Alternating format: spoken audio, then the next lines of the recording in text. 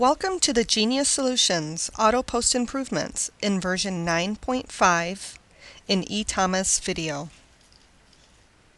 This video will detail claim adjustment reason codes on the 835 payment report, modifications to the auto post screen, good claims and exceptions, new items on the auto post list screen, auto post exceptions, and non-covered services to go on the exceptions.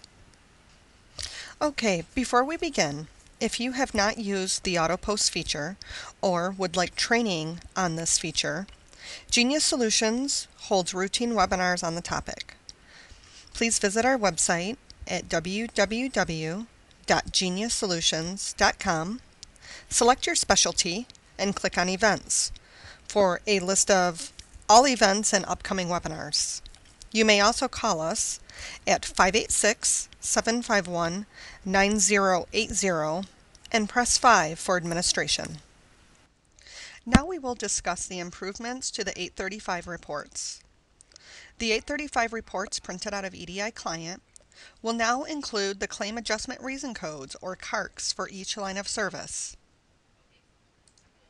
From within EDI Client, print your reports like you normally do to load them into eThomas. Okay, so I'm going to print out a few of the insurance payment reports to illustrate the claim adjustment reason codes on each line. So as you can see on this 835 report, we have underneath this line of service the PR3, the CO45, and the same with the next line of service. And if we go to the next page, it's the same the same thing where we have the reason claim adjustment reason codes. And as you can see, the same thing on this um, page of the 835. When we close out of the 835, the last page of the report will contain an adjustment summary. And this is how the report has always printed with the adjustment summary. The new additions are the claim adjustment reason codes listed for each line of service. Once you have updated to version 9.5, and after you have loaded your checks into AutoPost, you will notice that the AutoPost screen has been modified. Please keep in mind that only those checks loaded into eThomas after you have updated to version 9.5 will have the new features that I'm going to go over. You may delete the current checks out of your system, out of eThomas, and reload them in order to use the new features. But only those checks that have been loaded after the update will contain the new features we're going to go over. One of the first things you'll notice in the auto post screen is there is an addition of the exceptions button. One click, a list of all the auto post exceptions within the auto post exceptions area will print to the screen. If there are no exceptions to print, a message will display that says there are no exceptions to print, which is the case here because I have no exceptions yet. I have not loaded any checks. Once you've selected a check to load, I'm going to select this one, you will notice that the auto post item screen has changed quite a bit. So we're going to select this and we're going to click the load checks button. Once the check has loaded, you'll be brought to the auto post items. This screen has been modified. You'll notice you have a post button, an R, a good claims, and an exceptions. When the items from the checks load, items will be placed in either a good claims or exceptions category. Good claims are those items from the 835 report that are eligible for auto post. You will see when you are on good claims that the screen says ready to post. If I was on the exceptions, the screen would say exceptions. In this case, there are no exceptions. There are only good claims. We'll get to the exceptions portion later on in the video. Other new items on the good claims include the claim number for ease of reference to the patient claim. We also have a withheld column, which will display any amounts considered withholds loaded from the 835 report. And if we scroll over to the right, we're going to see another column called OFC, which stands for Other Financial Code.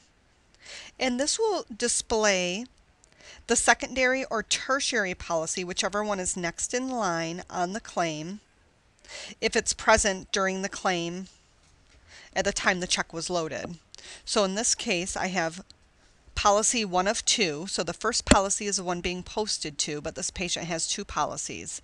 The next policy in line is a financial code of BC, which is more than likely Blue Cross. And then next to OFC, you're going to see a REAS CDS, which is your reason codes. And if you can't see all of this, you can drag the columns. Your reason codes are going to show the claim adjustment reason codes, which are loaded in from the 835. You'll see the codes here, and if there's more than one, it will be separated with a slash. And then if I wanted to post these items, or in this case, this item, I would click the post button. If I want to print a report of the items on the screen, I would click the R button to generate a report. I'm going to go ahead and post this item. And then it will bring us back to the auto post screen. Now the first check that we auto posted did not have any exceptions on it. Now we'll do a check that does have exceptions on it. So we'll just do the next one here on the bottom. And we're going to click on Load Checks. Once we load the checks, it brings us to the auto post items, brings us to the good claims. Now, for this particular check, there are no good claims, there are only exceptions. So exceptions are those items which will not auto post. They will have to be manually posted. So right now I'm on the good claims, ready to post. There's nothing listed. So I'll click on exceptions and I can see these are the items that will not auto post. Within the exceptions will be displayed those items which will not auto post. The list will include the patient name, the patient type, if it's present, in between the asterisks, the claim number, the financial code, the date of service, the procedure code, the claim adjustment reason code or CARC, a detailed memo with a pop-up dialog box detailing the description of the claim adjustment reason code. And if you hover over the detail, the dialog box will pop up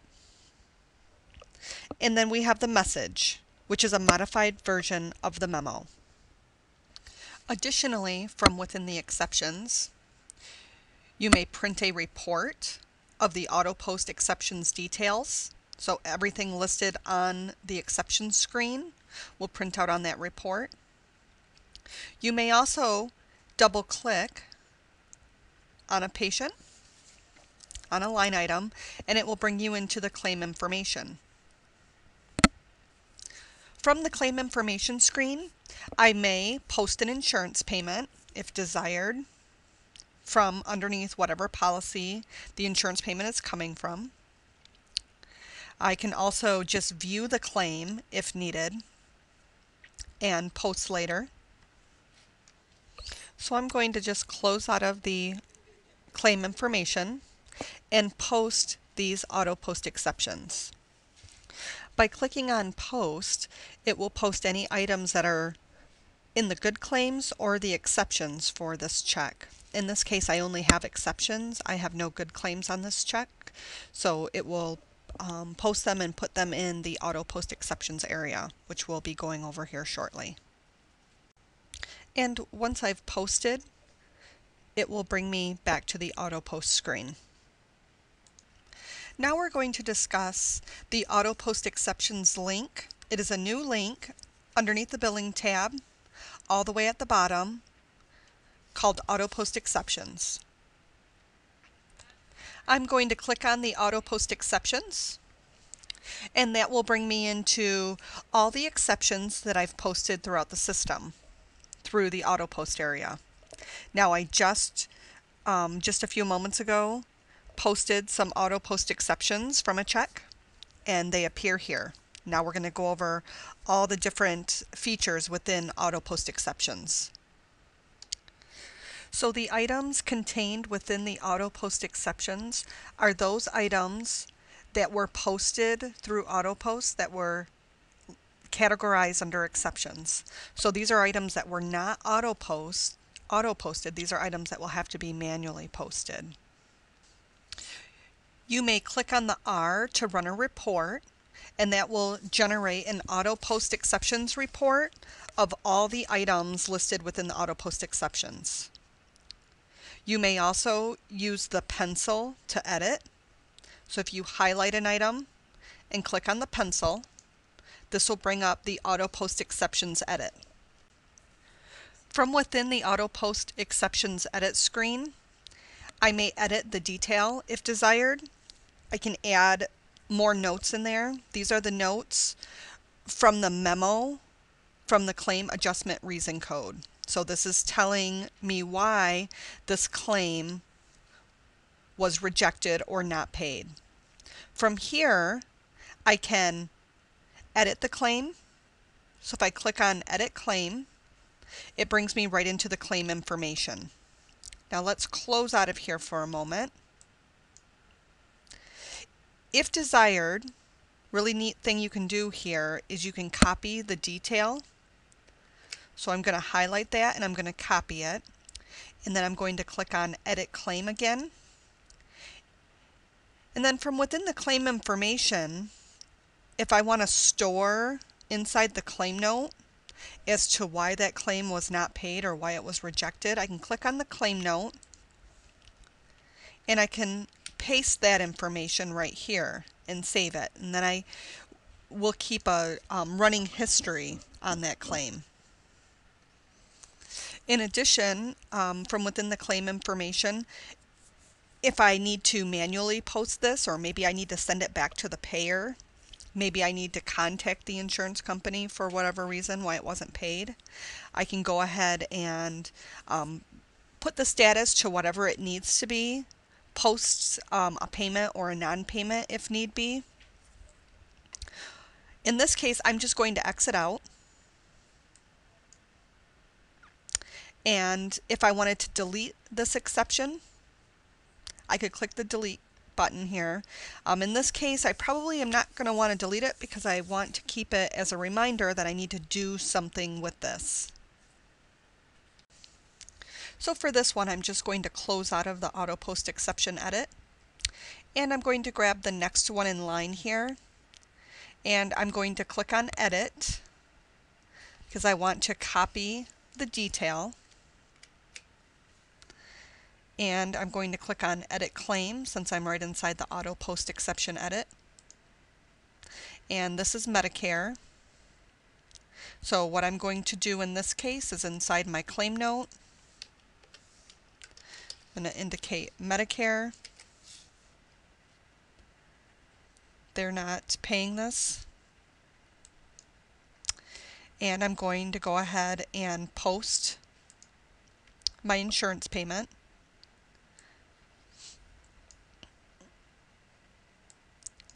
They did not pay anything on the service. So I'm going to let it fall into the copay so I can send it to the secondary insurance. You see the claim status is already set to secondary. I'm going to click on done. That's been posted. I'm going to save this claim. And I'm brought back to the auto post exceptions edit where I'm going to close out. I can delete from here if I wanted to delete, delete it right from this area, it would remove it from my list. That's always an option, but I'm going to show you a more efficient way to remove um, exception edits from the list. So let's close out. Okay, so we just posted an insurance payment for this patient. on the second line, it was actually a non-payment and the claim was put into a secondary status. There's two other buttons to the right here. One's called RMVC, which stands for Remove Complete, and the other is RMVURST, which stands for Remove Unbilled, Rebuild Secondary, and Tertiary. So I'm going to use this button called remove URST and what it's going to do is it will go through my list of auto post exceptions and remove any one on the list where the claim is in an unbilled, rebuild, secondary, or tertiary status. Now because I just posted a non-payment for the second patient and the claim was put into a secondary status, this line item will be removed from my list. So let's click. It's going to prompt me, are you sure you want to remove exception messages relating to, and it lists the different statuses. I'm going to say yes. Then as you can see, it removed that item. This is a really easy way to clean up and maintain your auto post exceptions list using the remove URST or remove C, which is complete. We'll go through another one here. So on this patient here, um, I can click on edit, click on the pencil, um, because what I want to do is copy my detail. Now you don't have to copy the detail. Um, you, you may just go in um, and post an insurance payment either from here or from the patient screen.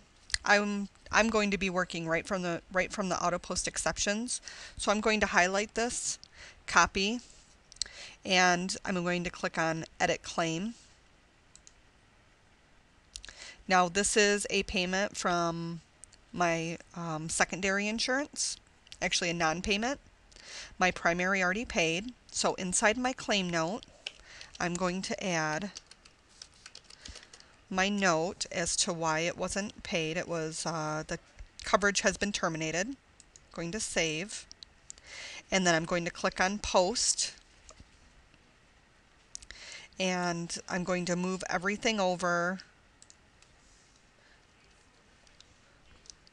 to the copay in this case.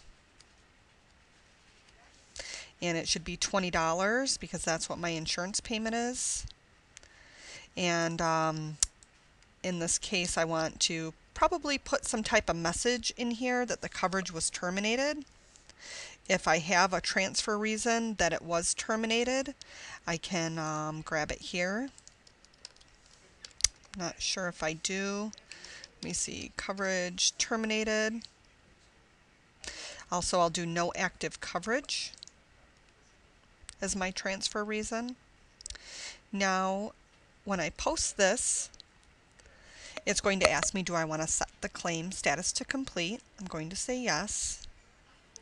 And my claim is incomplete. I have no balance. I'm going to save this. And again, I can delete the auto post exception edit right from here but I'm looking for efficiency here, what's going to be easiest. So when I'm all done working all of my exceptions on the list, which I'm going to do this other one for the same patient, then I'll remove my complete claims. Okay, so I'm going to go to the next patient here, which actually it's the same patient, um, just on a separate line of service. And if I double click on the claim, I can see here that, okay, the claim, um, this is the same claim, so it's in a complete status. So there were two lines of service on that claim. And you see how I did that? You can access the claim either through clicking on the line item, clicking on the pencil to edit, and going to Edit Claim. You may also double click on the line item to be brought right into the claim information, whichever is easiest for you. I find that clicking on the pencil to edit is easier just because I can copy the detail message. Now if you don't want to bother with that, you don't want the detail message to copy that into the claim or you don't want to view it, by all means just double click on the line item to get into the claim. So now what I'm going to do is I'm going to use this RMVC, which is going to remove all completed items from this list. Now it should remove both of these items on the bottom because it's um, that claim has been put into a complete status. So I'm going to do RMVC. It's going to ask me, are you sure you want to remove exception messages relating to completed claims? I'll say yes. And then I'm left with two items to work with. Just a few other items I want to show you before we leave the auto post exceptions is within, within the auto post exceptions will be listed the patient and any of these columns can be expanded if you just click and drag them over. It'll also show the patient type if there is one in between the asterisks. You have your claim number, the financial code, date of service, procedure code, the claim adjustment reason code or CARC code. You also have your detail memo, which just like in the other screen, if you hover your mouse over it, it will pop up a dialog box. And then you have your message. So any item that has a capital M are those items that were loaded into your system from the 835 report after you've updated to 9.5, it will load that detail message. You may see lowercase m's, which do not have a detail memo. And those are going to be either items that were um, loaded into the system prior to updating to 9.5. It may also be items that the system cannot find um, either the patient or the transaction. So the message would say something to the effect of um, can't find transaction, can't find patient. And that's going to be in a lowercase m because there is no detail memo um, because it did not come from the CARC code. It just means that E. Thomas couldn't find the patient or the transaction for whatever reason. Okay, let's talk about non-covered services for a moment. So you see on these two examples here, it says service not approved. These are considered non-covered services. Those are items that do not have an approved amount on the 835 payment voucher. So any service that does not have an approved amount that where a check is loaded into eThomas, those amounts will be placed on the auto post exceptions area of eThomas. And then um, you'll have the ability to either manually post those payments through the auto post exceptions, um, like you've just seen, or you can do it through the patient tab. Um, like you've always been able to do. Either way, whichever whichever works out best for you. Um, I happen to like posting it right from the auto post exceptions because you have access to the um, detail as to why the claim or that why that line item was rejected. Um, but however it works out best for your office, um, you can go ahead and post those items. And that's going to wrap it up for the auto post improvements in eThomas version 9.5 video. We really hope that you're going to enjoy all of these improvements that we've made on the auto post area. Um, we've really tried to listen to what our clients have, have suggested um, for improvements on the program and we hope you enjoy. Thank you.